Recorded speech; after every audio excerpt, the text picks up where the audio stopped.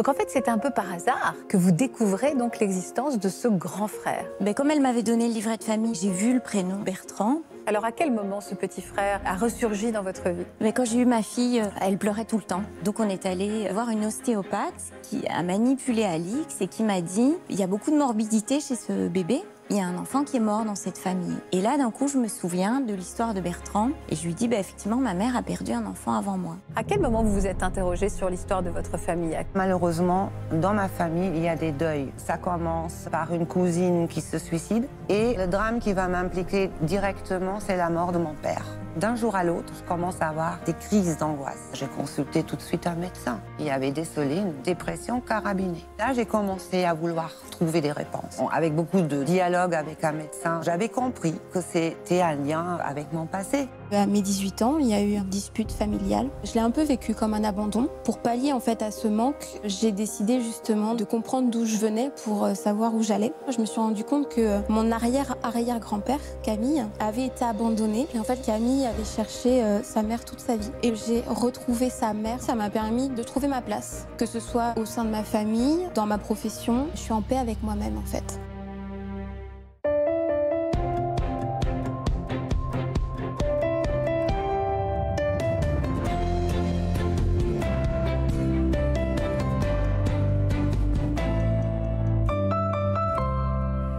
Bonjour à tous et merci d'être avec nous cet après-midi sur France 2. On a tous en nous ce désir de savoir d'où l'on vient et de connaître l'histoire de notre famille.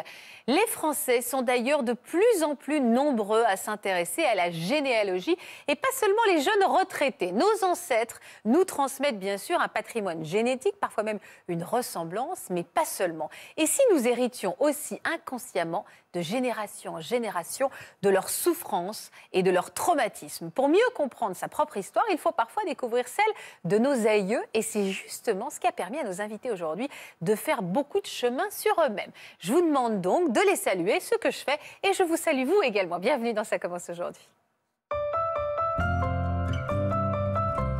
Bonjour à tous et merci infiniment d'avoir accepté de témoigner sur ce plateau, de nous raconter votre histoire, de vos ancêtres et ce qu'ils vous ont révélé de votre vie. Merci pour votre confiance. Je vous présente Natacha Espier, qui est psychologue, qui va pouvoir également éclairer tous vos parcours, voir toutes les questions que vos aïeux donc ont soulevées dans vos propres histoires. D'ailleurs, ça s'appelle, c'est un mot un peu compliqué à prononcer, la psychogénéalogie. Ah bah voyez, oui. aidez-moi. la psychogénéalogie. Merci Natacha. C'est quoi ce qu'on appelle la psychogénéalogie? alors, alors en fait, c'est se pencher sur son histoire familiale, l'explorer, euh, les, drames, les secrets, des non-dits, des deuils qui n'ont pas été résolus, des événements traumatiques, et ça pour éviter justement de les répéter pour enrayer finalement. Oui, c'est ça, pour sortir de cette répétition. Puisque parfois, dans nos propres angoisses, dans nos propres souffrances, on peut les expliquer en allant voir les souffrances de nos aïeux. Tout à fait. C'est ça, la psychogénéalogie. Généalogie. Est-ce que vous étiez, Sophie, déjà intéressée à votre passé avant que les questions donc se posent? Néanmoins, est-ce que l'histoire de votre famille, de vos ancêtres, de vos grands-parents, ça vous intéressait avant? Ah Oui, ça m'a toujours intéressée, c'est vrai. Vous êtes toujours posé beaucoup de questions? Je me suis toujours, euh, oui, je me suis toujours intéressée à la vie de ma famille. Euh. On a tous grandi euh, dans le Jura, de génération en génération, et du coup, voilà, il y a une tradition familiale qui est assez riche, et ça m'a toujours intéressée. Quel genre d'enfant vous étiez vous? Alors moi, j'étais une enfant plutôt, plutôt grave. Enfin, on dit de moi que j'étais une enfant pas très souriante. Un peu sombre, oui. Moi, la vie, c'était vraiment quelque chose de sérieux. Voilà. D'accord.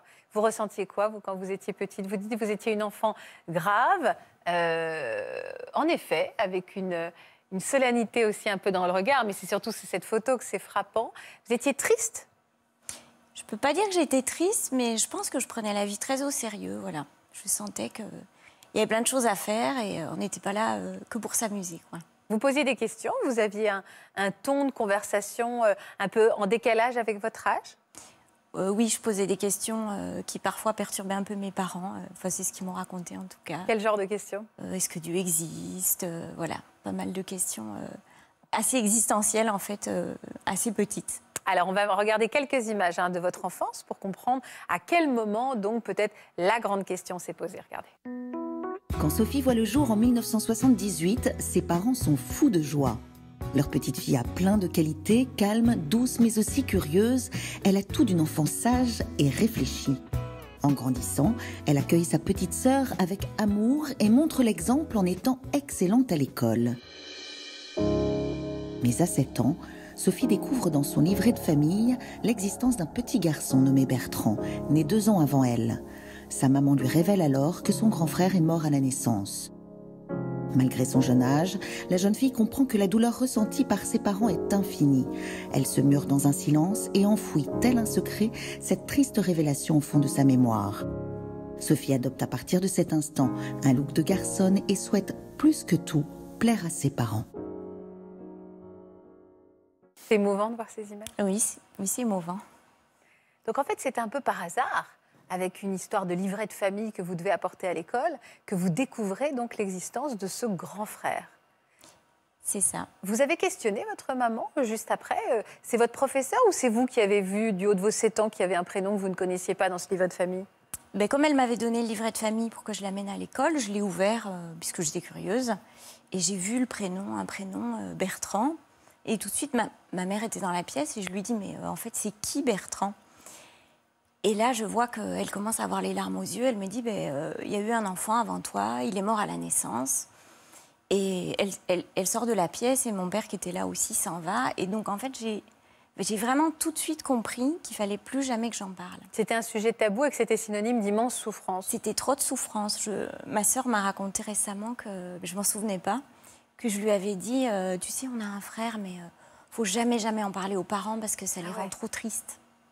Mais vous, vous êtes resté du coup avec des interrogations, parce qu'elle elle vous dit juste que vous aviez un frère, mais vous ne savez pas pourquoi il est mort, à quel moment. Elle vous dit juste ça. C'est difficile pour euh, une petite fille de 7 ans d'avoir cet embryon de réponse, j'allais dire. Euh, ce, ce mot n'est pas choisi au hasard, mais c'est compliqué parce que ça vous laissait plein de questions à vous.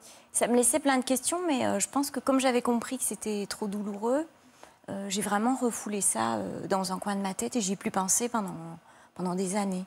Vous l'avez refoulé, mais néanmoins, c'est ce que soulignent ces images. De plus en plus, vous avez commencé à adopter un look de garçonne. C'est ça. Il y a eu un moment, effectivement, à 9 ans où. Alors, je ne sais pas ce qui m'a pris. Enfin, maintenant, si, je sais, mais euh, voilà, d'un coup, j'avais des longs cheveux. Euh, j'ai tout coupé très, très court. Euh, comme si, au fond de moi, il y avait quand même quelque chose qui voulait poser des questions, mais qui les posait, on va dire, indirectement. Qui voulait poser des questions Est-ce que, à ce moment-là, vous avez compris Alors, ce terme est un peu euh, très psy, mais que vous pouviez être ce qu'on appelle l'enfant de remplacement et que vous deviez euh, remplir cette case dans les yeux de votre parent et être un peu le, petit Bertrand qu'ils avaient perdu. Alors je pense que je ne l'ai pas compris du tout à ce moment-là. Euh, par contre, effectivement, j'ai été une enfant parfaite. Donc j'étais toujours la meilleure à l'école. c'est moi qui avais la coupe au ski. voilà. Vous n'allez pas poser de problème. Je posais jamais de problème. Et j'étais une fille et un garçon en même temps. Et, je faisais pas de vagues. Euh, je faisais en sorte que, mes parents euh, n'aient pas du souci en plus avec moi. il fallait combler le chagrin de, votre, de, vos parents? Il y avait un petit peu de ça? Je, pense qu'il y avait Faire oublier leur tristesse? C'est ça. Hmm. Ça a continué après? Donc là, vous me parlez quand vous aviez 9, 10 ans. Euh, mais quand vous êtes sorti de l'école, vous avez voulu faire quelle, emprunter quelle voie, faire quelles études? Après, j'ai fait des études. Moi, j'ai fait une école de commerce. Et j'ai avancé voilà, j'étais toujours dans les meilleurs de la classe. Mais petit à petit, j'ai eu ce sentiment que hum, je comprenais pas ce que je faisais là, en fait. Je me sentais pas du tout à ma place. C'était pas votre vie, c'était celle pas ma vie. J'avais l'impression que c'était pas ma vie, sans, sans pouvoir en dire vraiment plus, en fait. Et vous pensiez régulièrement à, à Bertrand ou vous l'aviez rangé dans un coin de votre cœur et de votre tête? Je l'avais rangé. Vous n'y pensiez plus? Très rarement. Alors à quel moment ce petit frère, ce grand frère, ce grand frère mais qui lui est resté petit, a, fait, a ressurgi dans votre vie? Mais Quand j'ai eu ma fille euh, Alix, donc j'avais 28 euh, ans, elle pleurait tout le temps. Elle pleurait, elle pleurait, elle pleurait. Euh, donc on est allé de médecin en médecin sans trouver de cause médicale exacte, disons. Et pour finir, je suis allée voir une ostéopathe qui a manipulé Alix et qui m'a dit euh, il y a beaucoup de morbidité chez ce bébé. C'est dur comme euh, phrase. Hein. Oui, c'est assez dur, effectivement. Elle me dit euh, vous, vous, avez perdu un enfant avant elle. je lui dis ben non, non, non. Elle me dit écoutez, je me permets d'insister. Il y a un enfant qui est mort dans cette famille. Et là, d'un coup, je me souviens de l'histoire de Bertrand. Et je lui dis, bah, effectivement, ma mère a perdu un enfant avant moi. Et elle me dit, écoutez, vous devriez vraiment travailler sur cette histoire parce que vous la portez et vous l'avez transmise à votre fille. Euh, travaillez sur vous et, et- et mettez cette histoire euh, au clair. C'est extrêmement fort, un peu culpabilisant aussi, non? Alors non, moi j'ai, pour moi c'est un cadeau qu'elle m'a fait ce jour-là. Voilà. Elle vous a révélé votre vérité. Oui. Et c'est là où vous avez décidé d'aller d'aller au bout, de savoir plus de choses? Alors du coup, je suis retournée voir ma maman et j'ai eu le courage de lui en reparler. Et il y avait encore beaucoup, beaucoup d'émotions chez elle. hein. Elle ne pouvait pas prononcer le nom de mon frère sans, sans pleurer. Elle m'a dit, écoute, je ne sais pas ce qui est arrivé en fait. Puisqu'elle a eu une euh, péridurale, c'était en 76. Et à cette époque-là, on endormait les femmes euh, complètement. Une césarienne, en fait. Euh, pardon, une césarienne. Oui, c'est ça, une elle a eu césarienne, une césarienne, voilà. Et donc on endormait les femmes complètement. Et quand elle s'est réveillée, on lui a dit, euh, ben voilà, l'enfant n'a pas survécu. euh, et c'est tout. Et elle l'a pas vu? Elle l'a pas vu parce Oh, que C'est terrible pour elle. voilà, Donc on lui a rien dit de plus? on lui a rien dit de plus. On lui a rien dit de plus. Alors mon père avait vu l'enfant, mais il a jamais pu dire euh, quand ma mère lui demandait, mais tiens, il était comment ce bébé? Euh, Il disait toujours, euh, ben, je sais pas, je sais pas à quoi ça ressemble un bébé. euh, je, je sais pas, je peux pas te dire comment il était. Je pense qu'il pouvait juste, il pouvait pas en parler en fait. C'était trop trop douloureux. Mm. Du coup, c'est terrible parce que pour votre maman, euh, perdre un enfant, c'est une chose. Perdre un enfant sans savoir pourquoi, sans l'avoir vu et pourtant l'avoir porté pendant toute la grossesse, c'est un, c'est une souffrance effroyable pour Oui. votre maman. Tout à fait. Et euh, elle- là, vous vous êtes dit à ce moment-là que vous, vous deviez lui apporter ces réponses, ou en tout cas, vous les deviez à votre fille de les avoir vous? Exactement. Je me, puisque moi, je m'étais dit, bah, il faut que, faut que je trouve la réponse, oui, pour ma fille, exactement. Comment vous avez enquêté alors? Alors, ben, je suis allée voir euh, mes grands-mères et j'ai posé des questions. Euh, sauf qu'elles m'ont dit toutes les deux euh, qu'elles ne savaient pas, pas du tout ce qui s'était passé. Enfin, personne ne savait. Donc, c'était pas possible de savoir. Comme ça? Voilà. Elle voulait pas vous dire? Vous avez senti qu'elle voulait pas vous dire qu'il y avait Alors, un peu un sujet senti tabou? qu'il y en a une des deux qui qui voulait pas me dire parce qu'elle m'a clairement envoyé sur les roses en me disant que je ferais mieux de m'occuper des vivants que des morts, que c'était quand même nettement plus intéressant. Mhm. Donc, ben, bon, j'ai arrêté de chercher. Alors, comment vous avez eu le fin mot de cette histoire? Alors le fin mot de l'histoire, c'est quelques années plus tard, donc la fameuse grand-mère qui m'avait envoyé sur les roses euh, était malade, je savais qu'elle allait mourir. Et je me suis dit, non, mais il faut vraiment que je sache ce qui s'est passé. Oui, avant qu'elle s'éteigne. Voilà. En plus, moi, j'avais des cauchemars euh, récurrents, des terreurs nocturnes qui duraient depuis l'adolescence. Je soupçonnais que c'était également en lien avec cette histoire. Euh, donc, je lui ai écrit une lettre pour lui demander euh, de me dire la vérité. Il y avait quoi dans vos cauchemars? Ça avait un lien avec Bertrand? Euh, je pense, oui, je pense que ça avait un lien puisque mon cauchemar, c'était un homme qui venait me chercher dans le noir, qui venait me chercher, qui m'emmenait, et j'appelais ma maman et elle me répondait pas. Elle n'était pas là, elle me répondait pas. D'accord. Donc je fais le lien Bah, bien sûr. avec la césarienne. Voilà. Donc, vous allez voir votre grand-mère. Donc j'écris à ma grand-mère. Vous écrivez à votre grand-mère. Et du coup, elle me, elle me téléphone. Elle me dit Écoute, Sophie, voilà, je vais te dire ce qui s'est passé. Euh, ton frère, quand il est né, il avait des malformations au niveau du visage et du thorax. Euh, euh, il n'était pas viable. Donc, elle m'a pas dit exactement ce qui s'était passé. Elle m'a juste fait comprendre qu'il l'avait laissé partir euh, parce qu'il n'était pas viable et qu'en fait, il n'avait pas souhaité en parler à ma maman. J'imagine pour ne pas rajouter de la douleur sur la douleur. Et là, c'est compliqué parce qu'en fait, elle vous transmet un secret de famille. C'est-à-dire C'est que vous, vis-à-vis de votre maman, vous avez cette vérité Mm. et vous ne savez pas quoi en faire. Vous vous retrouvez responsable de cette vérité. Est-ce que vous le dites à votre maman? Est-ce que vous, ça vous suffit? Est-ce que l'histoire s'arrête là? Qu'est-ce que vous en faites de cette information et comment vous le recevez? Vous la recevez, vous, cette information? Mais quand je l'ai reçu, c'était un immense soulagement en fait de savoir la vérité de ce qui s'était passé. Et puis aussi, euh, je me suis dit, euh, oh là là, il va falloir que je dise ça à maman. euh, ça me semblait pas évident. Et puis j'ai attendu un petit peu, j'ai attendu un moment où on soit toutes les deux, et je lui ai dit. Et ce qui était beau, c'est que bah, elle a eu tout de suite des larmes dans les yeux. Et elle m'a dit, euh, tu sais Sophie, je crois qu'au fond de moi, je le savais. Je, crois que je le savais en fait, ce que tu me dis. Voilà. Et suite à ça, elle a fait un, un acte de, de deuil, en fait, pour laisser partir mon frère. En fait, je pense que ça l'a débloqué dans son, Dans son tra- processus. dans son processus de deuil qui était complètement bloqué. Euh, elle a souhaité les 40 ans de mon frère et elle l'a laissé partir.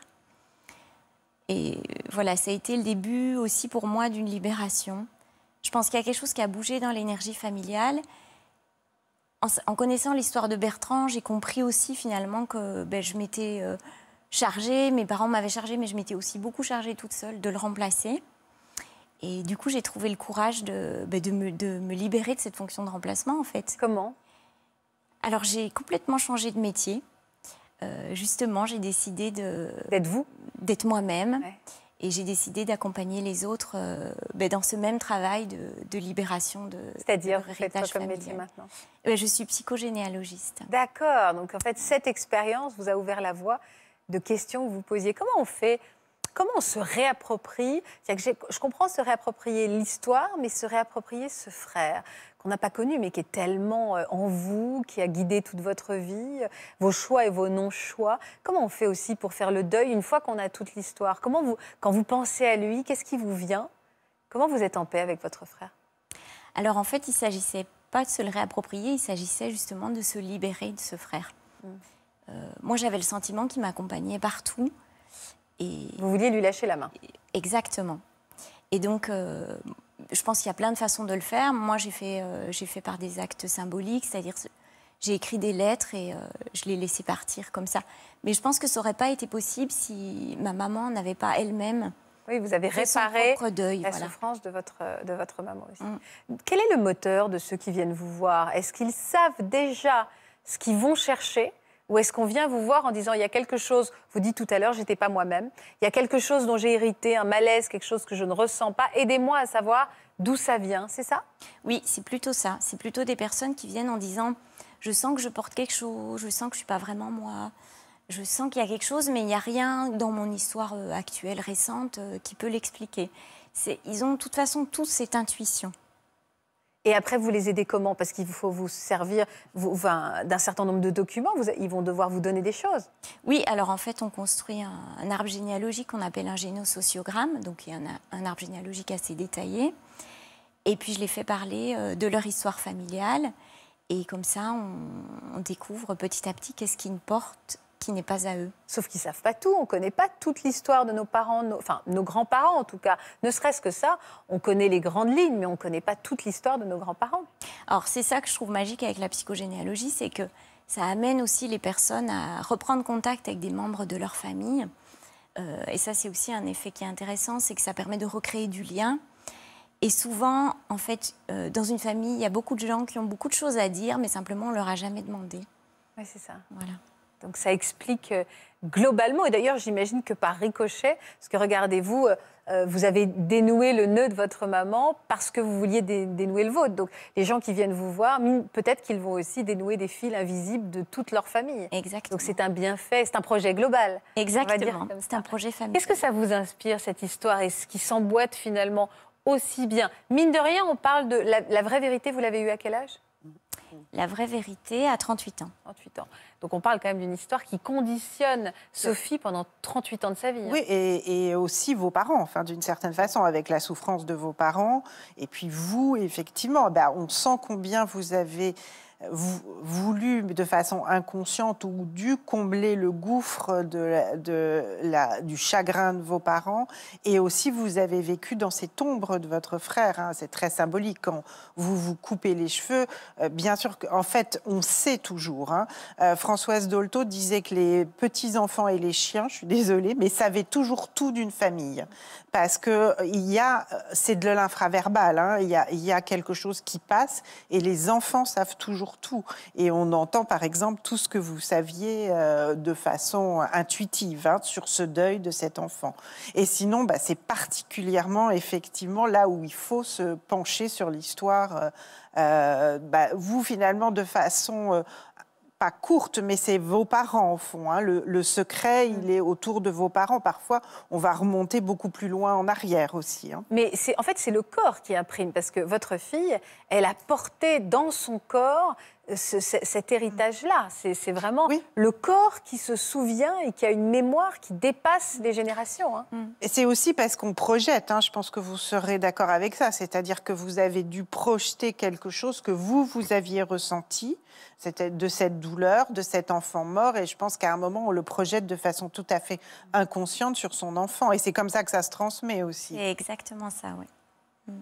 Vous, Andrea, ça vous parle? Oui, beaucoup. Beaucoup, hein, c'est un peu votre histoire également. Oui. Euh, vous Ça aviez toujours... Il y a des ressemblances. Il y a des ressemblances. Vous aviez aussi senti de, très tôt que vous portiez quelque chose de lourd, sans savoir quoi exactement?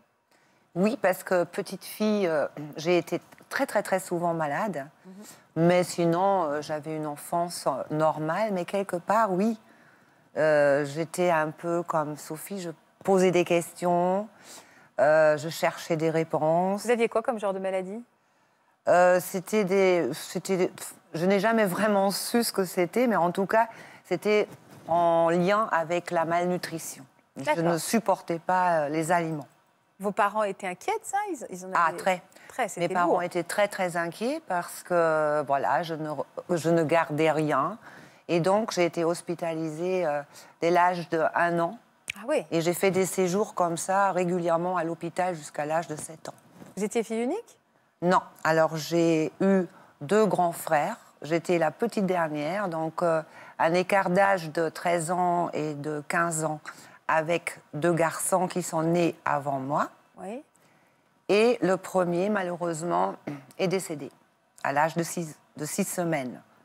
De- il a vu. Qu'est-ce qui s'est passé Alors, pour lui? pareil, ça, c'était l'époque de la guerre, parce que mes parents euh, ont dû fuir. Je suis allemande, donc euh, c'était, mais bon, c'était une histoire un peu compliquée. Euh, mes parents ont dû avoir euh, d'autres euh, lieux pour être en sécurité. Et là, mes parents, jeunes parents, mes, mes parents étaient euh, face à un drame. Mon petit frère, il était né et conçu hors mariage. D'accord. Voilà. Et euh, ma maman, euh, elle a été euh, pas contrainte d'épouser mon papa parce qu'ils étaient très, très, très amoureux, mais très coupables d'avoir conçu un enfant Hors mariage. hors mariage. D'accord. Donc ce qui s'est passé, c'est qu'elle était allée voir un prêtre pour se confesser. Et ce prêtre lui avait prédit qu'elle allait perdre cet enfant. Et malheureusement, l'histoire euh, donne raison à ce, à ce prêtre. Elle perd ce premier enfant. Vous le saviez? Elle me l'a raconté plus tard, oui. Plus tard, mais Oui. quand euh, vous êtes malade petite, à ce moment-là, vous aviez cette information Non, absolument pas. Non, je n'avais aucune information. J'avais juste mon grand frère qui était là, lui. Et votre corps qui parlait? Mais mon corps parlait, oui. Euh, quel ado vous êtes devenu, Andrea? Alors j'étais une ado un peu casse-cou. Euh, j'étais un- une ado, euh, un garçon manqué. Alors pareil, je jouais dehors euh, tous les jours. J'étais euh, toujours en vadrouille dans la forêt parce que j'ai eu la chance de grandir à la campagne. Non, j'étais une ado euh, qui posait pas trop de problèmes en dehors du fait d'être tout le temps malade. Alors, oui, c'est quand même un lourd problème, mais c'est pas que vous en posiez, c'était un problème pour vous. À quel moment vous vous êtes interrogé sur l'histoire de votre famille Alors, à quel moment vous vous êtes dit que vous aviez peut-être des clés à aller chercher? Alors ça, c'est venu plus tard, parce que euh, j'ai passé donc une adolescence, euh, on va dire jusqu'à l'âge de 10-11 ans, quand même tout à fait normal. Et à ce moment-là, malheureusement, dans ma famille, il y a des deuils qui vont se faire. Euh, ça commence euh, par une cousine qui se suicide. Oui. Ensuite, euh, un an après, sa maman, donc ma tante, fait la même chose. Elle se suicide parce qu'elle ne supportait pas la mort de sa fille et qu'elle était bipolaire. Donc un jour, pour la- pour l'histoire, elle était hospitalisée pour cette maladie-là. Et puis, elle avait une permission de sortie, elle se maquille, elle va chez le coiffeur, elle s'achète euh, des vêtements pour être belle et malheureusement, c'est pour aller se noyer. Donc, euh, c'est euh, quand même une histoire Lourde, ouais. lourde. Et, mais moi, j'étais témoin de cet événement-là. J'ai perdu ma cousine. pareil, elle attendait des enfants. Elle a fait un enfant qui est malheureusement mort-né. Et puis un jour, elle décide aussi de faire le saut, le grand saut, et de sauter par la fenêtre. Elle ouais. était morte. Et moi, j'avais donc euh, 11-12 ans, et ces, ces événements tragiques ont baignez impacté, bien bien sûr. sûr, euh, toute ma famille. Bah oui, c'est fondateur euh, Voilà. de votre euh, cœur, Voilà. en plus d'adolescente. Exactement. Ça, ça, ça- ça s'imprime bien. Qu'est-ce qui va, quel est le drame qui va vous euh, impliquer directement Alors, le drame qui va m'impliquer directement, c'est la mort de, de mon père. Parce qu'à ce moment-là, j'ai 14 ans. Pareil, c'était une journée, je passais une journée, euh, je dis pareil parce qu'à chaque fois, euh, ces événements-là ont avant eu des moments d'insouciance, euh, de vie, euh, enfin, on va dire normale. Donc, je passe une journée euh, très chouette avec une amie, on va à la piscine, on fait du vélo. Je rentre chez moi et je vivais seule, j'avais 14 ans tout juste, avec mes deux parents. Et puis ma maman, euh, à un moment donné, elle fait un malaise. Elle était cardiaque. Elle fait un malaise et puis euh, elle se sent pas bien. Et dans notre maison, pour comprendre, il y avait des travaux. Donc tout était un peu son dessus-dessous. Et voilà, et puis il faut que j'aille chercher vite ces médicaments. Et c'est à ce moment-là que c'est à ce moment-là précis que mon père commence à souffrir aussi. Euh, En même temps. en même temps. Ils ont fait un malaise en même temps. En même temps. C'est fou. Plus tard, on a dit que leur, leur amour a été tellement fort que. voilà. Qu'ils voulaient mourir ensemble? Oui. Et du coup, euh, malheureusement, ben, j'ai appelé les secours, j'ai fait ce que j'ai pu. Euh, C'était euh, la campagne. Je n'ai pas reçu avoir, euh, réussi à avoir un médecin tout de suite, qui est quand même arrivé. Un deuxième médecin est arrivé aussi, mais malheureusement, mon, mon père, euh, je le sentais, succombé. il a succombé. Ouais. Et ma maman était transportée à l'hôpital. Ça fait beaucoup pour vous à ce moment-là. oui, ça, oui, ça, c'était quand même assez. euh, Surtout la culpabilité pendant des années de ne pas avoir trouvé les médicaments. Ah oui. Ah, ça, c'était, euh, c'était dur, ça, parce que je me suis rendue re- responsable euh, longtemps en me disant, mais si j'avais trouvé tout de suite euh, les médicaments, mais non, malheureusement, euh, c'était comme ça. Vous êtes fait aider, vous, après, surmonter tout ça? Alors oui, parce qu'après, j'ai vraiment passé une année très, très compliquée. J'ai fait des fuites. euh, je ne voulais pas faire... J'ai lâché l'école. J'étais plus du... Je faisais que des bêtises. Je crois que Décrochage vraiment- scolaire total, décrochage de tout. Ouais, décrochage. Et quand maman était très euh, démunie face à ça, elle a dit un jour, il faut qu'on t'aide. Ça ne va pas comme ça. Ouais. Donc, j'ai rencontré une psychologue. Et c'était une rencontre très importante parce qu'elle m'a euh, accompagnée pendant des années, euh, justement pour que je fasse mon deuil et que j'enlève cette culpabilité-là. C'est elle qui vous a donné envie d'aller en savoir plus sur euh, les générations Non, ça vous ont- c'est venu plus tard. Ça c'est venu plus tard. Euh, donc j'ai passé euh, une, une jeunesse, on va dire, euh, j'ai réussi. à Chaotique. Mais chaotique parce que j'étais toujours en, en questionnement. Pourquoi je ressens ces angoisses Pourquoi j'ai peur Et en même temps, j'étais une euh, gamine, euh, on va dire, euh, joyeuse et euh, qui faisait les 400 coups avec les copains et les copines. Et puis là, j'ai rencontré donc à 18 ans mon futur mari parce que euh, avec l'école, on est parti à Paris. C'était la coutume à l'époque de partir. Et le dernier soir, on était donc, euh, on avait décidé de se faire un dernier restaurant à Paris. Déjà, c'était génial, j'étais à Paris. Première fois que je sortais de mon pays. Et dans ce restaurant, je rencontre mon futur mari. Et, ça, ça a débuté une belle histoire. On s'est écrit pendant très longtemps. On s'est vu. Il est venu en Allemagne. Ouais. Et trois ans plus tard, j'étais mariée. Et je suis partie de l'Allemagne pour pour m'installer vivre en. France. Vous avez eu des enfants? Alors j'ai eu vite des enfants. À 23 ans, j'ai eu ma première fille, Ouais. Marie-Agnès, qui est là. qui est là. À 27 ans, ma deuxième fille, Céliane. Ouais. Et, euh, et puis on était, euh, on était un jeune couple tout à fait normal. euh, mon- Heureux. heureux. Mon mari finissait ses études. Et euh, on a eu vraiment beaucoup de bonheur, mais je ressentais toujours quand même au fond de moi une ombre. Il y avait quelque chose. Je ne pouvais pas dire, je ne pouvais pas mettre les mots dessus. Je me suis dit, oh, c'est parce que... Vous n'étiez pas heureuse Pas, Pas à pleinement 100%, on va dire. Oui, il y avait quelque chose qui coinçait. Il y avait un- quelque chose qui coinçait. Mais je ne pouvais pas le nommer. Alors, qu'est-ce qui vous a... Qu'est-ce qui s'est passé après? Eh bien alors, euh, j'arrive, je vais avoir 33 ans, et puis on décide avec euh, mon mari de faire un super voyage. D'offrir un voyage euh, ensemble, en famille, avec les filles, et d'aller au Canada. Alors ça, le Canada, pour moi, c'était symbole de liberté, c'était génial. C'était vraiment un projet euh, super chouette. On avait tout préparé, on avait loué un beau chalet à côté de Montréal. Et on peut dire d'un jour à l'autre, je commence à avoir ce que je ne savais pas à l'époque, des crises d'angoisse. Alors, ça, quand on ne sait pas ce que c'est, c'est compliqué à définir, parce que c'est une peur sans raison. C'est une peur, euh, voilà. Et je ne savais pas. Et je commençais à, à pleurer tout le temps, j'étais mal dans ma peau. Et je me suis dit, mon Dieu, ce voyage au Canada, il est trop beau pour moi. Et, je, ressentais un, par rapport à ça, euh, comme si une catastrophe allait me tomber dessus, mais sans pouvoir la nommer. Oui, je comprends. Donc on est quand même, j'ai vu un médecin qui m'a dit, mais après m'avoir ausculté, il m'a posé des questions, mais est-ce que vous ne serez pas en train de faire une dépression? Une dépression avec ce projet-là, mais c'est pas possible. Alors elle m'a donné des calmants et puis finalement on est parti. On est parti euh, en famille euh, dans ce beau, dans cette belle région à côté euh, de Montréal et, j'ai passé les pires vacances de ma vie. Pourquoi?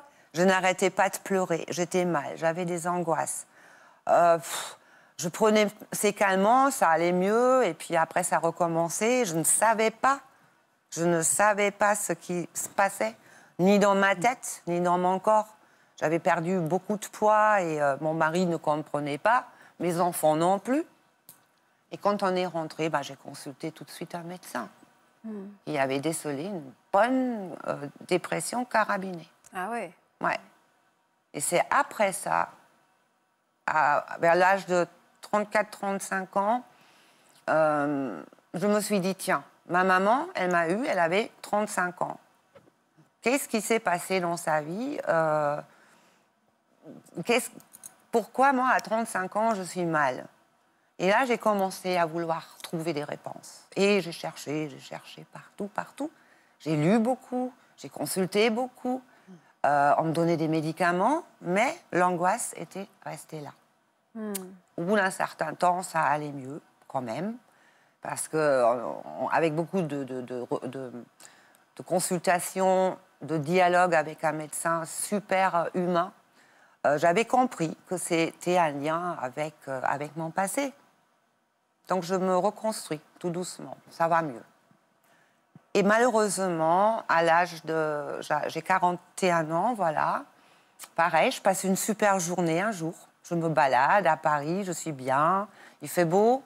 Et je rentre à la maison, je fais le repas pour, mes, pour ma famille. Et un coup de fil de ma maman en Allemagne qui me dit ton frère est mort.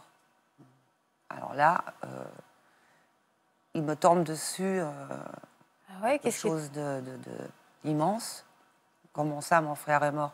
Mon frère avait 13 ans de plus que moi, il vivait dans la même maison que ma maman. Qu'est-ce qui lui est arrivé à votre frère? Infarctus, comme son père, pratiquement au même âge. Mon père est décédé, il avait 52 ans, mon frère est décédé, il en avait 54. 4, Oui. Et puis là, euh, bien sûr, je la prends, je prends ma maman en charge. Je n'ose plus, je n'ose plus m'éloigner d'elle parce qu'il y a eu beaucoup de, beaucoup de logistique à, régler, à organiser. Il y a eu beaucoup de problèmes juridiques aussi à résoudre. Et j'ai essayé euh, d'ici, c'est-à-dire de France, euh, de régler ces problèmes. Et, et j'y suis arrivée avec beaucoup, beaucoup de, de bataille, mais j'y suis arrivée. Et à partir de là, bah, ma mère, si vous voulez, elle est devenue la personne à protéger, la personne. Oui, les rôles se sont inversés. Ah oui, tout totalement. À ce moment-là, je suis vraiment devenue, euh, au lieu d'être sa petite dernière, je suis devenue celle qui allait la sauver euh, de tout. Mais c'était très lourd à porter. Oui, je veux bien vous croire, bien sûr. À quel moment vous allez vouloir dénouer ces fils invisibles? Eh bien, encore une fois, j'adore les recherches. Alors, je regardais un peu euh, sur des sites, je voulais des, des réponses, jusqu'au moment où je tombe sur un livre, justement, qui parlait de psychogénéalogie. Vous êtes beaucoup plus forte que moi, toute pour le prononcer. Hein. Psychogénial. C'est un très joli mot. Et du coup, euh, voilà, j'ai lu ce livre-là, et surtout, je crois que le titre, c'était euh, Comment se libérer euh, des angoisses de ses ancêtres. Et au fur et à mesure de la lecture, je me suis dit, c'est pas possible, ce livre a été écrit pour moi. Il y avait tellement de, de, de similitudes avec des cas qui étaient donc expliqués dans ce livre. Et là, j'ai eu vraiment petit à petit des réponses. Et j'ai cherché. Ma maman, qui était une conteuse extraordinaire, s'est fait un plaisir de me raconter euh, des histoires euh, de ma famille, de, de son vécu, et également des histoires de mes grands-parents, notamment d'une grand-mère. Et là, je me suis ah oui, il y a du lourd quand même. Je me suis dit là, il y a comme une sorte de, j'avais envie de dire de, de curse. Enfin, on était maudits, on était euh, cette C'est-à-dire une malédiction Voilà, Mais à quel malédiction, niveau Il y avait une malédiction dans votre famille Oui, oui. Parce à chaque fois, le, le schéma se répétait. Une vie normale, une belle vie. Euh, encore une fois, on est, je suis issue d'une famille très joyeuse. On aimait la fête, on aimait se réunir. On était très, très soudés. Ouais. Et au milieu de tout ça, tout d'un coup, voilà, il y avait beaucoup de drames.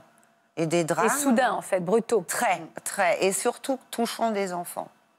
Des enfants, euh, euh, j'ai une, une tante euh, qui a perdu euh, un enfant d'une manière dramatique. Ça, c'est l'arbre généalogique. ouais. Ça, c'est mon arbre généalogique, oui. Et voilà, ma tante Elisabeth, Ouais. qui elle aussi, pareil, on est, il faut s'imaginer l'époque, c'était la guerre. Et cette femme, euh, pareil, ma tante, elle, euh, elle, a, eu un enfant hors mariage, enfin avant son mariage, à 17 ans.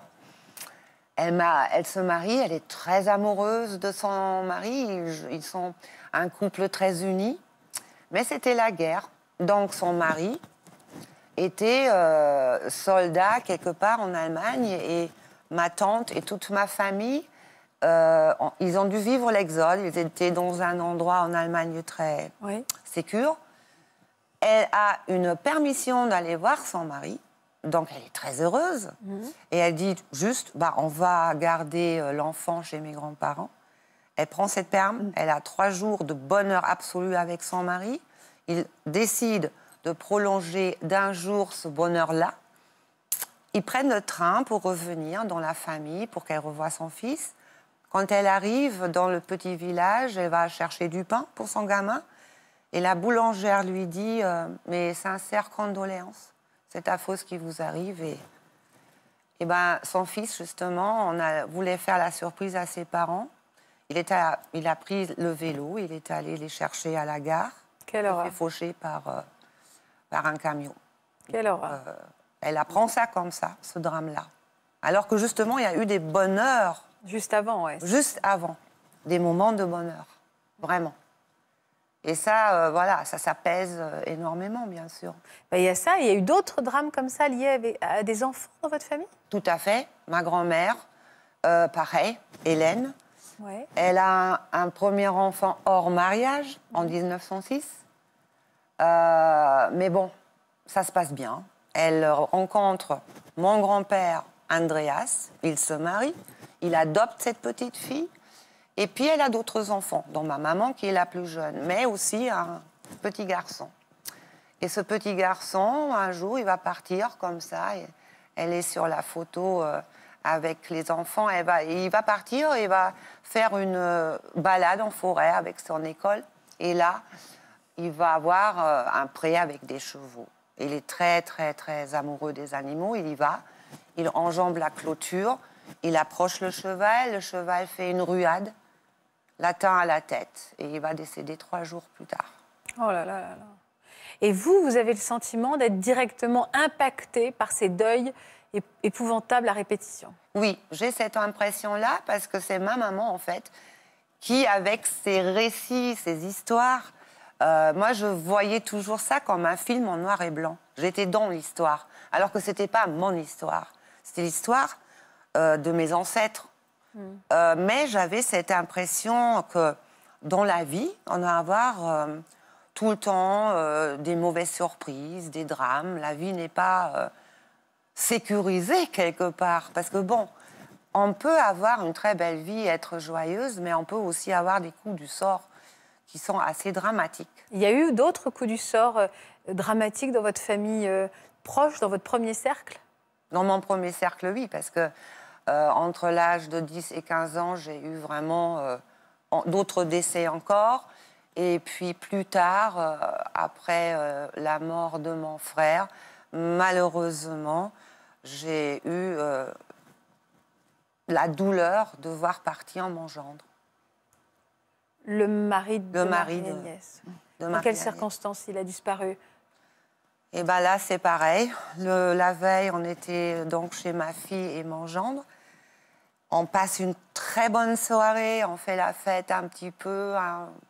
on, on discute, on rigole.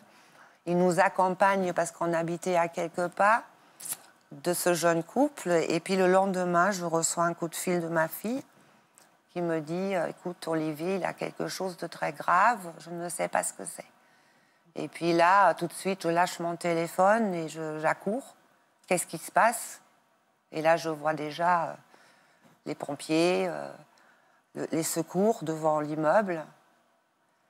Et il a fait une rupture d'anévrisme. Et il est décédé dans la, la- le lendemain. Mais il était déjà mort cérébral parce que on nous avait dit clairement euh, le pronostic, il est, il est très noir pour lui. Il y a quelque chose, en effet, de l'ordre de la, malédi- de la malédiction autour des femmes. hein, cette, votre- oui, c'est cette, euh, cette impression. Venez nous rejoindre, Marie-Agnès. C'est votre histoire aussi dont on Oui. parle. Vous aviez entendu parler avant, de- avant le décès de, de- de votre époux, et j'en suis absolument navrée, vous aviez entendu parler, vous avez discuté avec votre mère de cette malédiction qui touchait les femmes de votre famille? Ah bah, J'en avais toujours entendu parler, j'ai grandi avec parce que euh, vous avez vu que ma mère est une conteuse hors pair, ma grand-mère aussi, donc j'étais aussi euh, baignée là-dedans, mais, mais j'étais... Sans vous en inquiéter Oui, j'arrivais à être détachée, euh, ça arrivait en Allemagne, ça arrivait pas chez moi à Paris. Oui. Voilà, il y avait cette, cette distance géographique. Et puis, euh, et puis j'avais 28 ans, j'étais... Pardon. J'étais une jeune mariée, je faisais la fête, je faisais mes études. Pour moi, tout ça, c'était loin. Oui, c'était les, c'était les, oui, c'était vos ancêtres. C'était pas mes votre ancêtres, histoire. Ça n'arrive qu'aux autres, même si ce sont mes ancêtres. Et quand vous perdez votre époux, est-ce que à ce moment-là, ça ressurgit en vous? Oui, pas tout de suite. Euh, quand je l'ai perdu, d'abord, il y a eu un espèce de... Mon médecin de l'époque me disait, il y a comme de la libido lâchée dans l'air, un instinct de survie. Donc je continue à faire la fête, les copains, tout ça. Comme beaucoup, hein, oui, oui. il y a parfois, super on appréhende le important. deuil avec une urgence de vivre. Et- Voilà, on n'avait que Et 20 ça arrive plus ans. tard. euh, et c'est, en fait, c'est au fur et à mesure des, des mois, tout d'un coup, j'ai commencé à avoir des symptômes un peu bizarres, des- du mal à respirer parfois. euh, j'étais angoissée dans l'ascenseur, je pouvais plus prendre l'avion alors que j'ai voyagé toute ma vie. Et en fait, j'ai commencé à me dire, euh, il y, a- quelque chose qui va pas dans, ton corps. Et en fait, euh, en consultant, j'ai compris que c'était dans ma tête surtout. Et j'ai développé un, trouble anxieux. Et ça, c'est quelque chose qu'on a dans la famille. Ma mère, c'est ce qu'elle a eu quand elle parlait des crises d'angoisse tout à l'heure. quoi. C'est des espèces de moments complètement irrationnels. On fait complètement autre chose. Et tout d'un coup, en une seconde, on est persuadé qu'on va mourir. On ne peut pas l'expliquer. Alors après, chacun ses symptômes. hein, c'est... Voilà. Donc du coup, j'ai développé des crises d'angoisse. Et donc j'ai consulté, j'ai fait une thérapie, ça m'a beaucoup aidé. Euh, j'ai écrit beaucoup parce que je suis auteur. Et puis à 6 ans, euh, bah, j'ai rencontré euh, mon amoureux actuel et avec qui j'ai eu la chance d'avoir un merveilleux petit garçon qui a 4 ans.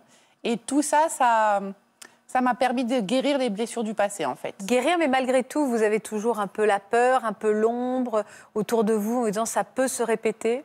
J'ai toujours cette peur-là. Alors déjà, c'est peut-être bête, mais j'étais tellement heureuse d'attendre un garçon et pas une fille. Parce que je me suis dit, les filles dans ma famille, elles en ont tellement bavé. Ça a été tellement difficile d'être euh, d'être une femme de, de- de ma famille. Je voulais un petit garçon pour casser un petit peu ça. Euh, ma sœur a réagi pareil. On a toutes les deux eu euh, deux petits garçons.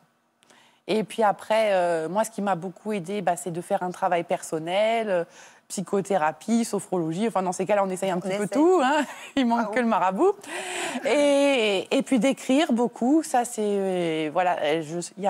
J'ai écrit un livre qui s'appelle Les Chroniques d'une jeune maman. Voilà, et dans lequel justement j'explique que la grossesse, devenir maman, euh, j'ai eu des moments très difficiles parce que je m'interdisais quelque part d'être heureuse, d'avoir une nouvelle vie, d'avoir ma vie en dehors d'Olivier, avec qui euh, on était mariés, avec qui on voulait avoir un bébé.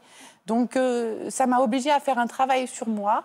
Et puis du jour où on a mis euh, Thomas dans mes bras, je sais pas, ça a été comme une libération. Une euh, guérison, finalement. Une guérison. Le fait d'avoir eu un garçon a peut-être enrayé la malédiction des femmes, en tout cas dans votre cœur et dans votre tête. En tout cas, j'y crois. Ça Oui, vous a peut-être libéré. En tout cas, vous y croyez, hein, mais euh, oui, on entend. Alors, je ne sais pas si c'est une malédiction, mais en tout cas, vous avez dit, hein, vous êtes une conteuse, votre grand-mère était aussi une conteuse, et je pense que ça vous a pris dans ce filet-là, au fond, hein, avec l'idée qu'il y a du bon, on est heureuse, et forcément, il, va, il y a une catastrophe qui va arriver, être ce qui est euh, Oui, très culpabilisant. Enfin, ça, c'est très judéo-chrétien, très culpabilisant. Si ça va bien, bah, ça va aller mal, au fond. Et c'est très compliqué de vivre avec cette, euh, avec cette idée-là. Et je pense que vous avez été pris par ça, par, euh, par cette culpabilité. Il faut vous défaire de ça. Et les crises d'angoisse, vous avez raison. C'est quelque chose, on a l'impression qu'on va mourir. Et, et, euh, et c'est tragique et c'est dramatique. Et ça empêche de vivre, hein, même si c'est pas du tout vrai qu'on va Oui, mourir. Vrai que ça- c'est handicapant. On prend plus Ah oui, oui, l'ascenseur, oui, plus l'avion, plus la voiture. Des fois, euh, ça Oui. peut être terrible. hein. Il faut sortir les fantômes des placards, quoi. Oui, c'est exactement ma, ça, hein. ma devise. Comment On les sort, c'est ma devise. Il faut les sortir du placard, aérer un peu tout ça. Regardez En parler, bien, en parler, euh, oui, mais libérer, pas dans nettoyer. le drame toujours. C'est ça qui. Je voudrais vraiment trans- transmettre ce message. Il n'y a pas que du drame. Euh, en- en- la vie est faite aussi de beaucoup de bonheur et de positif, et on se construit. Les ancêtres ont été là avant nous. Ils n'ont pas eu la même vie, mais. Oui, je suis pour le fait de les sortir du placard, de les mettre au soleil. Oui, vous avez raison de transmettre, parce qu'on se pose toujours la question quand il y a quelque chose qui ne va pas, mais ça serait aussi formidable de se dire qu'est-ce qu'il m'arrive de bon et que j'ai hérité aussi de mes aïeux? Pourquoi, en effet, je suis pleine de joie, pleine de vie, peut-être que je l'hérite aussi. Il faudrait voir aussi, c'est en ça où un travail, tout le monde devrait faire finalement un travail de psychogé- de psychogénéalogie. de psychogénéalogie pour comprendre euh, toute sa personnalité et tous ses démons, mais également ses, ses anges et ses, ses joies intérieures. Tout à fait. En tout cas, vous avez tous en effet un point commun, c'est quand même ce malaise, ce sentiment de ne pas être à sa place, de ne pas être aligné. Je ne sais pas si on peut utiliser ce mot-là. Ça a été votre cas, Pauline? Oui, ça a été euh, le cœur de, de mon problème. En fait, euh, depuis euh, toute jeune, j'avais l'impression de, de ne pas appartenir à cette famille, comme si on m'avait un peu euh, parachutée, euh, jusqu'à penser presque que j'avais été adoptée. Et, euh, Vous l'aviez formulé auprès de vos parents? Non, j'avais été fouillée en cachette dans le livret de famille. C'est vrai? Oui. Et vous aviez découvert quoi dans ce livret de famille? Ben, que j'étais la fille unique de mes parents. D'accord Donc il n'y avait pas eu de révélation? Il n'y avait pas de révélation. La seule chose que je savais, c'était que mon grand-père paternel était décédé à la guerre d'Algérie, lorsque ma grand-mère était enceinte de mon papa. Et puis ensuite, euh, à mes 18 ans, il y a eu un, un- comment dirais-je, une dispute familiale. Et euh, je me suis éloignée de, de mon papa. Euh, je l'ai un peu vécu comme un abandon, en tout cas, c'est ce que j'ai ressenti. Et euh, pour pallier en fait à ce manque, j'ai décidé justement de, de, de chercher mes origines, de, de comprendre d'où je venais pour euh, savoir où j'allais. Euh, Comprendre d'où on vient pour savoir où on va. voilà. De quelle manière vous y êtes prise? Euh, alors j'ai commencé mes recherches généalogiques, donc du coup je voulais un petit peu euh, creuser un petit peu plus du côté de mon grand-père, Euh, étant donné qu'il était décédé sans savoir qu'il allait être papa. je me suis dit quand même c'est bizarre, on peut, peut dire peut-être qu'il y a un sentiment d'abandon aussi également euh, dans cette situation-là. Donc j'ai commencé mes recherches. Et puis, euh, une personne m'a contactée sur les réseaux euh, et de fil en aiguille, on a discuté et on s'est rendu compte que mon grand-père euh, avait des frères et sœurs. Sauf que moi, on m'avait jamais, on n'avait jamais parlé en fait. Et pour moi, il était fils unique. Donc, ma devise, c'est un peu derrière chaque silence, il y a un secret, donc il faut, faut creuser toujours. Et il faut parler à tout prix. Bien sûr. Euh, donc j'ai décidé d'aller voir euh, certains membres de ma famille et de d'avoir un petit peu une version différente euh, de l'histoire familiale, savoir ce qui s'était passé, ce qu'ils savaient aussi. Et puis, des années plus tard, je, je suis remontée au fil des générations je me suis rendu compte que mon arrière-arrière-grand-père, Camille, euh, avait été abandonné à la DAS en 1886. Euh, à partir de ce moment-là, j'ai décidé de récupérer son dossier euh, de placement, en tout cas de le consulter. Et il y avait des éléments assez, assez troublants. Il y avait dedans, il y avait une lettre qu'il avait écrite de sa main. Euh, il y avait aussi le dossier qui retraçait euh, tous ses placements dans des familles euh, qui malheureusement étaient dans des conditions de vie pas très sympathiques. Et il y avait aussi un numéro et un prénom avec un nom de ville. Donc euh, j'ai décidé de creuser un petit peu et je me suis rendu compte que euh, non seulement euh, mon, mon ancêtre Camille avait été abandonné à la DAS, mais aussi qu'il avait un frère, un demi-frère, qui avait été aussi abandonné. Donc j'ai récupéré les deux dossiers. Et en fait, je me suis rendu compte que euh, Camille avait cherché euh, sa mère toute sa vie. Il avait, euh, il avait ouvert des enquêtes auprès de, de la préfecture, auprès de la gendarmerie. je me retrouve énormément à travers son personnage parce que je suis quelqu'un de, de très curieuse et je vais engager beaucoup de, beaucoup de force dans ce que je vais faire. Euh, et en fait, ce qui est très étrange, c'est qu'il a fallu que je fasse tout ce travail de psychogénéalogie pour trouver la clé, en fait. Et euh, c'est au bout de ces neuf mois de thérapie que j'ai retrouvé sa mère, en fait.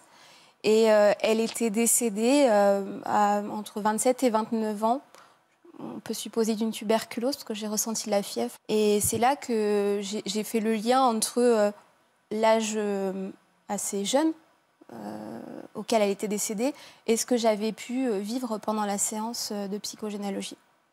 Alors, ce qui est intéressant, c'est que moi, ça me soulève une question. C'est-à-dire que forcément, et vous allez toutes les deux, je pense, m'aider à y répondre, de par vos deux professions euh, complémentaires, euh, quand on ouvre la boîte de Pandore, forcément de son histoire, on va, on va découvrir donc l'histoire de ses ancêtres. Comment on peut être sûr que ce qu'on ressent fait écho à autre chose? Parce que on peut s'inventer n'importe quelle interprétation. Qu'est-ce qui fait qu'on se dit finalement ce malaise, je dis n'importe quoi, c'est dû à ma grand-mère euh, qui s'est suicidée, à mon grand-père qui a perdu un enfant jeune. Qu'est-ce qui fait qu'on identifie le, le- le- vous voyez, le, quelles sont les limites de la psychogénéalogie? Oh, j'ai réussi à le dire. Non, mais c'est vrai. Qu'est-ce qui fait qu'à un moment, voilà, voilà moi je, je- je fais un peu ce travail en ce moment pour vous dire la vérité, donc je me, ren- je me renseigne. Mais après, qu'est-ce qui explique quoi? Qu'est-ce qui répond à quoi? Est-ce qu'il faut laisser du temps pour, euh, pour digérer tout ça et de voir de quelle manière ça s'aligne en soi? C'est ça qui est particulier. Moi, ce que je constate, c'est que en fait, la personne dans son inconscient, elle le sait. Elle Ah, le donc il y a une reconnaissance. Voilà, donc quand euh, elle vient avec une demande ou quelque chose qui ne va pas, d'abord on recherche dans l'arbre, on a des pistes par euh, des dates qui se répètent Oui, ou des ça. prénoms qui se répètent. Déjà, bon, ça nous Mm, donne une sûr. direction. Et après, quand on met le doigt sur euh, ce que la personne porte qui n'est pas à elle, euh, tout de suite ça se voit sur son visage, sur... il y a quelque chose qui s'éclaire, ou elle ressent quelque chose, ou dans les jours qui viennent. Tout d'un coup, il y a une évidence et, des- et des- ça se révèle. Dans les jours qui viennent, elle va faire des, elle va faire des rêves. Et Ça s'impose dans la personne. En fait. voilà, ça s'impose à la personne. C'est pas juste. Bon, alors ça, ça tout d'un coup, ça s'impose dans le cœur de la personne et ça se répond en fait. Oui, oui, il y a quelque chose effectivement qu'on sait de façon inconsciente. hein, c'est ce qu'on a un peu dit. On le porte en soi, on le sait de façon inconsciente. Et après, j'ai envie de vous dire, peu importe. euh, L'essentiel, c'est ce que vous croyez à ce moment-là. Oui, vous avez raison. Et c'est ça qu'on va travailler. Et de quelle vous- manière ça vous fait du bien Et voilà, où ça vous fait du mal. Et si ça vous fait du mal, nous, on va essayer, enfin, nous, si, on va le travailler pour vous aider. C'est ça qui compte aussi. hein. Donc c'est un- c'est aussi en effet un outil de réflexion sur soi. C'est un outil de travail sur soi. De quelle manière, alors, une fois que vous avez recomposé ce puzzle, ça a pu vous aider, Pauline? Euh, alors moi déjà, euh, c'est comme c'était une quête viscérale, euh, je me suis sentie vraiment, euh, vraiment apaisée. J'avais été au bout des choses. J'avais retrouvé donc euh, la maman de Camille et euh, on a pu enclencher un processus un petit peu de, de pardon, mettre du, du pardon et de l'amour sur tout ça. Euh, que ce soit du pardon entre les ancêtres ou euh, du pardon avec ce que j'avais vécu personnellement. Je me suis pardonnée aussi de, d'avoir ressenti un petit peu cet état de victime suite à, à ce que j'avais vécu avec mon père. Mhm. Euh, un pardon aussi avec lui, parce que euh, bah, je me suis dit qu'il y avait aussi une part de transgénérationnel dans ce qu'on avait vécu et que euh, ben, parfois l'inconscient euh, nous pousse à faire des choses qu'on peut-être qu'on n'aurait pas souhaité. Et puis aussi, ça m'a permis de, de trouver ma place, que ce soit au sein de ma famille, dans ma profession. Vraiment, je me sens plus stable, plus centrée. Je suis en paix avec moi-même, en fait. Trouver la paix, hein, finalement, c'est ce que Oui, on recherche. Mais nos ancêtres peuvent nous y aider. En tout cas, ce qu'on va en faire, ce qu'on va chercher autour, on va essayer de résoudre euh, les conflits, ce qu'on imagine. Et oui, ça, ça peut nous donner la paix. J'aime bien quand vous dites aligné, au fond. Il y a quelque chose de cet ordre-là. Et ce qui compte, c'est ce que vous avez trouvé Bien. aussi. Est-ce qu'il y a aussi un, un danger Je pense à tous ceux qui nous regardent et qui vont se dire peut-être que moi aussi je vais me lancer dans ces recherches. Est-ce qu'il y a des choses qu'il faut laisser au passé ou est-ce qu'il faut sortir tous les fantômes du placard? Bah, dit comme ça, je dirais qu'il faut mieux les sortir du placard quand même. Parce que ça a une influence, c'est ce qu'on a entendu aujourd'hui. hein. Ça, je pense que clairement, s'il y a des fantômes, il faut les sortir ou il faut tenter de les sortir.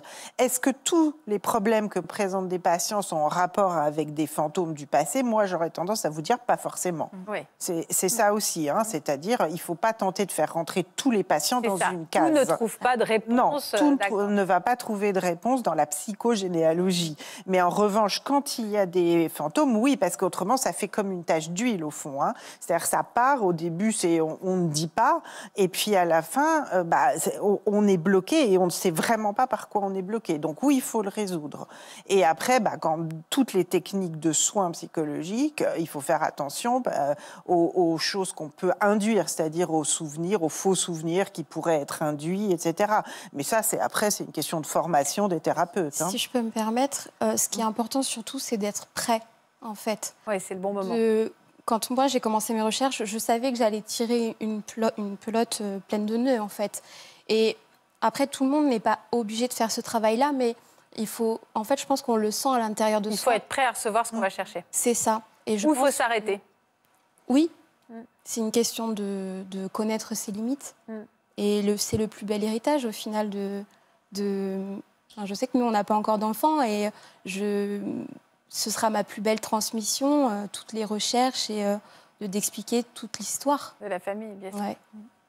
Merci à tous en tout cas de nous avoir éclairés avec vos histoires qui prêtent à réflexion. Merci infiniment de nous avoir accompagnés. Merci beaucoup Natacha de nous avoir éclairés. Merci à tous d'avoir réussi à prononcer le mot que je n'arrive pas à prononcer. Euh, merci à tous d'être fidèles à France 2. Je vous embrasse très fort. Restez d'ailleurs avec nous puisqu'on va se retrouver dans un instant. D'ailleurs à ce titre, pour ceux qui n'ont pas forcément l'horaire calé avec euh, ce- celle de notre émission, n'hésitez pas à aller nous retrouver sur France.tv. Vous allez retrouver toutes nos émissions. Et également, vous pouvez nous écouter sur les podcasts CCA. Euh, c'est disponible sur toutes les plateformes. Voilà, on ne se quitte jamais et ça, ça fait du bien. Donc à tout de suite et à demain, 13h50, pour un nouvel inédit de Ça commence aujourd'hui. Je vous embrasse fort, restez sur France 2.